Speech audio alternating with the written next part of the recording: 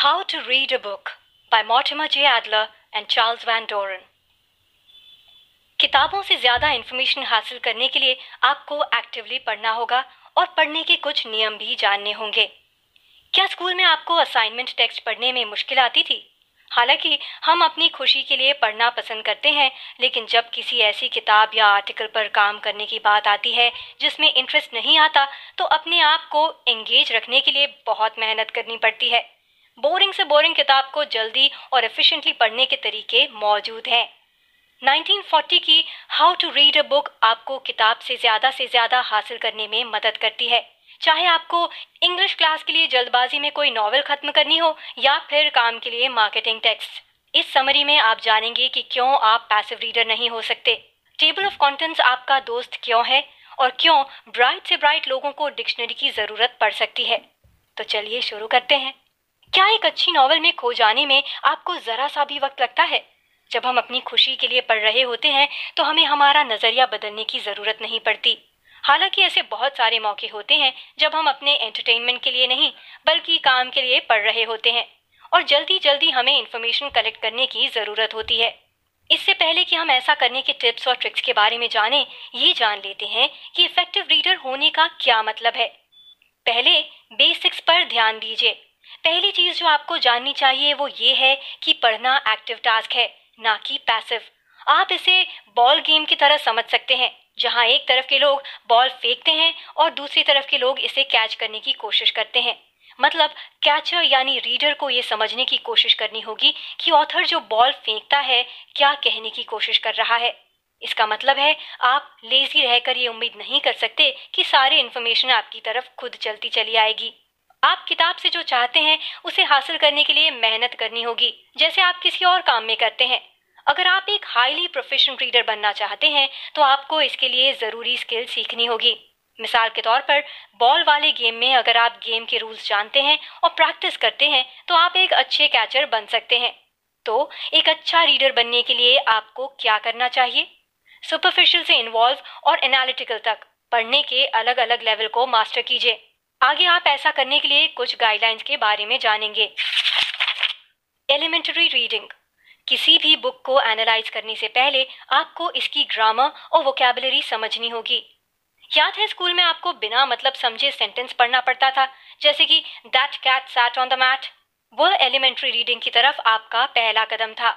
Elementary reading वो चीज़ है जिसमें रीडर को टेक्स्ट में मौजूद वर्ड्स और सेंटेंसेस को समझना होता है। यहाँ पर रीडर अपने आप से सवाल करता है, ये सेंटेंस क्या कहता है?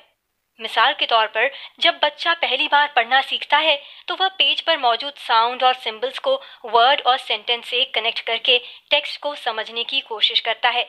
जब वह ऐसा कर लेता है तो सेंटेंस में मौजूद बेसिक कंटेंट समझ लेता है।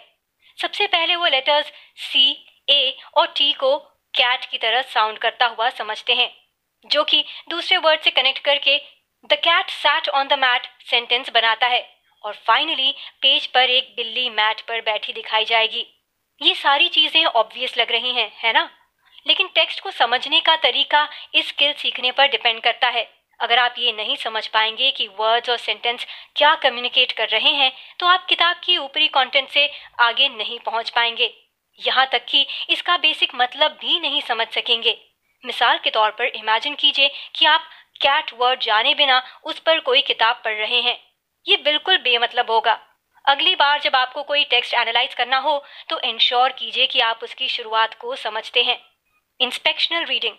किसी भी किताब को एनालाइज करने से पहले आपको इसे ऊपरी तौर पर पढ़ना होगा कि ये डीप एनालाइज करने लायक है या नहीं।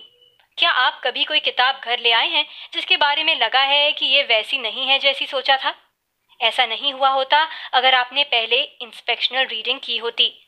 इंस्पेक्शनल रीडिंग एक ऐसी टेक्निक है जो इस किताब में क्या है और ये किस तरह की किताब है का जवाब देती है। ये टेक्निक थोड़े से वक्त में किताब की बेसिक समझने में मदद करती है। लेकिन आपको किसी भी किताब का इंस्पेक्शन करने की क्या ज़रूरत है? जब तक आप किताब को डिटेल में नहीं पढ़ेंगे, नहीं जान पाएँगे कि ये आपके काम की है या नहीं। किसी भी किताब को खरीदने या उधार लेने से पहले इंस्पेक्शन रीडिंग की मदद से आप ये डिसाइड कर सकते हैं कि ये किताब आगे पढ़नी है या नहीं। किसी भी किताब को इंस्पेक्ट करने के लिए आपको कुछ पर्टिकुलर हिस्सों पर ध्यान देना होगा मतलब किताब की स्किम रीडिंग करना। किताब की सिस्टमैटिक स्किम रीडिंग के लिए सबसे पहले title page table of contents और एडिटर ब्लर्ब पढ़िए। इसके बाद वो चैप्टर्स और पैराग्राफ पढ़िए जो आपके काम का हो सकता है। इन सबको फॉलो करने से ये जानना आसान हो जाता है कि बुक आपके काम की है या नहीं। अगर नहीं तो आप इसे मत लीजिए। एक बार जब आप ये डिसाइड कर लें कि किताब आपके काम की है तो आप उसे डिटेल में पढ़ सकते हैं। लेकिन सुपरफिशियली जब आप पहली बार पढ़ रहे हो तो बारीकियों और उन चीज़ों को इग्नोर करें जो समझ नहीं आती। इस तरीके से आप बार बार वर्ड की मीनिंग के लिए डिक्शनरी खोलकर पढ़ने का मज़ा नहीं खराब करेंगे। मिसाल के तौर पर, बहुत सारे हाई स्कूल के बच्चे शेक्सपियर को पढ़ना पसंद नहीं करते, क्योंकि बार बार उन्हें वर्ड्स की मीनिंग के लिए फुट नोट देखना पड़ता है। पहले से ये जानना कि टेक्स्ट किस बारे में है, दूसरी बार पढ़ते वक्त ट्रिकियर पार्ट समझने में मददगार साबित होगा। एनालिटिकल रीडिंग जब आप किताब को एनालाइज करना शुरू करें तो सबसे पहले आपको इसकी मेन थीम और ऑथर का मकसद समझना होगा। एक बार जब आप किताब को समझ लें, उसके बाद एनालिसिस शुरू करें। एनालिटिकल रीडिंग कंटेंट चबाने और डाइजेस्ट करने जैसा है। इस प्रोसेस का पहला स्टेप ये जानना है कि आप कैसे किताब पढ़ रहे हैं और इसकी थीम एक दूसरे से कैसे कनेक्ट होती है। किस तरीके से थीम डेवलप होती है, ये किताब के टॉपिक पर डिपेंड करता है। इसलिए किताब को क्लासिफाई करना ज़रूरी है। अगर आपको पहले से मालूम है कि किताब थियोरेटिकल है तो इसका मतलब है आर्ग्यूमेंटेशन हाउ टू बुक के कंपेयर में थोड़ा अब्स्ट्रैक्ट होगा। मिसाल के तौर पर मैथ पर लिखी गई किताब में सेल्फ हेल्प किताब जैसी लाइफ एडवाइस नहीं होगी। किताब का मेन मकसद दिमाग में रखना, इसके कॉम्प्लेक्स पार्ट को समझने में आपकी मदद करेगा। किसी भी किताब को क्लासिफाई करने का सबसे फास्ट तरीका इसकी सुपरफिशियल प्रॉपर्टीज़ पर ध्यान देना है। जैसे कि किस तरह की लैंग्वेज इसमें इस्तेमाल की गई है और टाइटल क्या कहता है। मिसाल के तौर पर प्रैक्टिकल बुक में शुड और ऑट टू जैसे मॉडल इस्तेमाल होते हैं। इसी तरीके से अगर किसी किताब का title the decline and fall of Roman Empire है तो आप फ़ौरन समझ जाएँगे कि ये हिस्ट्री की बुक है। जब आप किताब को क्लासिफाई कर लें तो अगला नंबर टेक्स्ट पर फोकस करने का है। यहाँ पर आपको प्लॉट समझना होगा और ये ध्यान देना होगा कि अलग अलग थीम पूरी किताब या थीम से कैसे कनेक्ट कर रही है। इसके तहत कुछ सेंटेंसेस में पूरी कहानी को समराइज करना थीम्स और सब प्लॉट को पहचानना होता है। मिसाल के तौर पर ओडिसी की स्टोरी लाइन ग्रीक हीरो का उसके होमलैंड वापस आना है और इसके आउटलाइन के तहत कहानी के मेन इवेंट्स आएँगे, जैसे कि पहला ऑडिशस का कैलिप्सो के आइलैंड से चले जाना। दूसरा, उसके बेटे का उसे ढूँढने के लिए जाना, वगैरह वगैरह। इस तरह का बुक एनालिसिस एक्सरे लेने जैसा है। आपको इसकी बोन्स यानी प्लॉट देखकर इसके नेचर का पता लगाना होता है। इसके बाद आप इसकी गोश्त यानी स्ट्रक्चर और सब प्लॉट की तरफ़ जा सकते हैं। ऑथर को समझिए। ऑथर आइडिया बेचने वाला होता है। ये देखने के लिए कि वह हमें क्वालिटी कंटेंट पेश कर रहा है या नहीं, हमें किताब की वोकेबलरी और आर्ग्यूमेंटेशन पर ध्यान देना होगा। और ऐसा करने के लिए हमें इसके कॉन्सेप्ट टर्म्स को पहचानना होगा। इसके लिए सबसे पहले कीवर्ड्स को आइडेंटिफाई करते हुए उनके मतलब समझाइए। टेक्स्ट बुक में कीवर्ड्स का पता लगाना आसान होता है, क्योंकि वो अक्सर बोल्ड में लिखे होते हैं। कीवर्ड्स और इसके मतलब को समझने के लिए आपको अपने आसपास के वर्ड्स पर ध्यान देना होगा। जब ये वर्ड्स कॉन्टेक्स्ट के साथ पढ़े जाएँगे तो आप इनके मतलब आसानी से समझ लेंगे। जब टर्म्स वाला काम खत्म हो जाए तो आप ऑथर का मैसेज समझना शुरू कीजिए, जिसका मतलब टेक्स्ट प्रपोजिशन ढूंढना और इसके स्ट्रक्चर को समझना है। आप प्रपोजिशन को किसी सवाल के जवाब ओपिनियन या नॉलेज डिक्लेरेशन के तौर पर रिकॉग्नाइज कर सकते हैं। ये सब टेक्स्ट के की सेंटेंसेस में मिलेंगे और इसमें नोटेबल मीनिंग होगा। प्रपोजिशन किसी भी आर्ग्यूमेंट का मेन मैसेज बताता है। हालाँकि प्रपोजिशन आइडेंटिफाई करने का कोई लिखा हुआ रूल नहीं है। ये पूरी तरीके से रीडर पर डिपेंड करता है कि वह स्ट्रक्चर और की पॉइंट्स को किस तरीके से समझता है। ये चेक करने के लिए कि ऑथर जो कहना चाह रहा है, वो आपकी समझ में आया या नहीं, आप इन कीवर्ड्स को अपने शब्दों में दोहरा सकते हैं। जब आप ये काम पूरा कर लें तो आपको पता लगाना है कि यह एक दूसरे से कैसे कनेक्टेड है। मिसाल के तौर पर, क्या पहले प्रिपोजिशन से दूसरा प्रिपोजिशन लॉजिकली फॉलो अप किया गया है? क्या ऑथर ने पहले आर्ग्यूमेंट पेश किया और फिर एग्ज़ाम्पल दिया या इसके उल्टा? इन स्टेप्स को फॉलो करके आप अच्छे से समझ सकेंगे कि क्या और कैसे कहा जा रहा है। जब आप कोई किताब एनालाइज करें तो इसकी खासियत और लॉजिक को भी इवेल्युएट कीजिए। एक बार आप ऑथर के आइडिया को समझ लेते हैं तो कंटेंट को जज कर सकते हैं। किसी भी बुक एनालिसिस के एवोल्यूशन का ये आखिरी स्टेप है। किताब की सिग्निफिकेंस को इवेल्युएट करने का मतलब है, अपने आप से क्या ये सही है, इसका क्या जैसे सवाल करना। इन सवालों का जवाब पाने के लिए आपको सही और बैलेंस तरीके से किताब को क्रिटिसाइज करना होगा। मतलब जब आप किताब को क्रिटिकल नज़र से देखेंगे, तभी इन सवालों के जवाब मिल पाएँगे।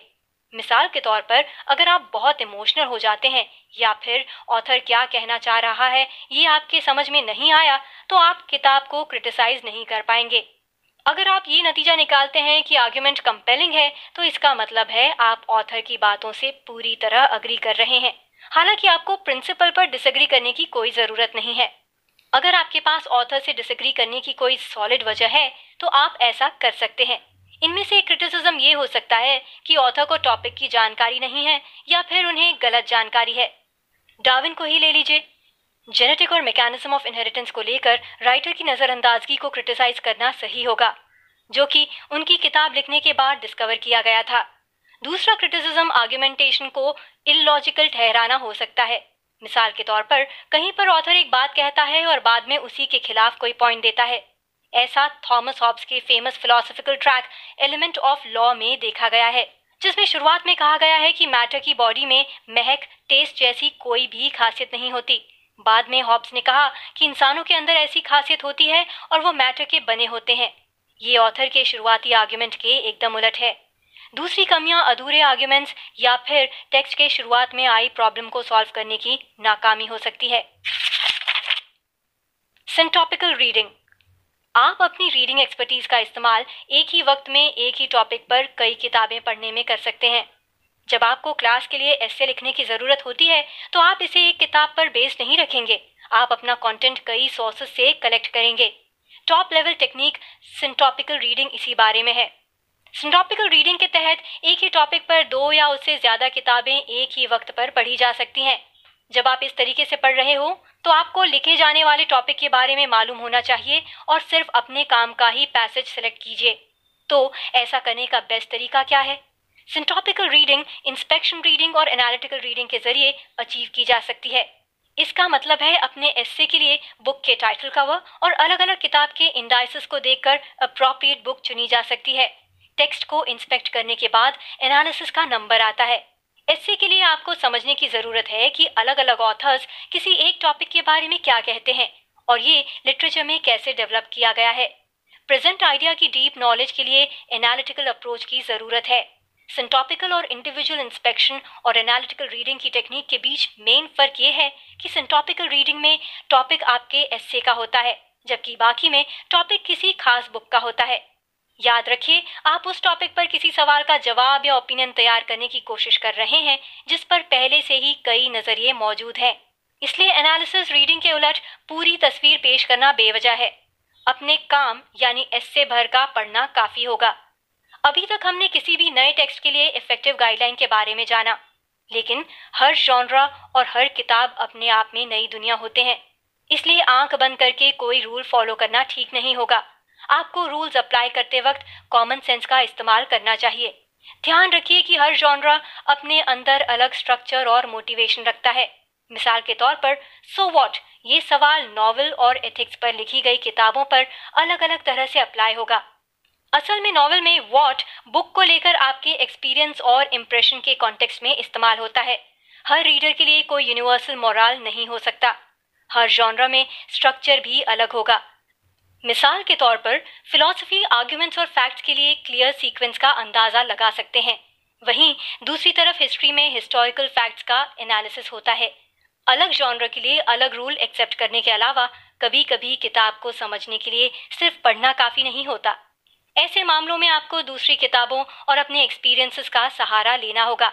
मिसाल के तौर पर, जिस ऑर्डर में किसी ऑथर की किताबें लिखी हुई हैं, उस पर ध्यान देना हेल्पफुल हो सकता है।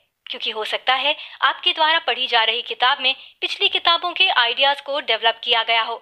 मतलब आप मौजूदा किताब तभी समझ पाएँगे अगर आप इसके बैकग्राउंड के बारे में जानते हो। अमेरिकन कॉन्स्टिट्यूशन को ले लीजिए। ये अठारह सेंचुरी में डेवलप किए गए आइडियाज़ पर बेस्ड है। इसलिए परसूट ऑफ़ हैप्पीनेस जैसे जॉनरा को अप्रिशिएट करने के लिए आपको मोटस्क और रूसो जैसे फिलोसफर्स के काम से वाकिफ होना होगा।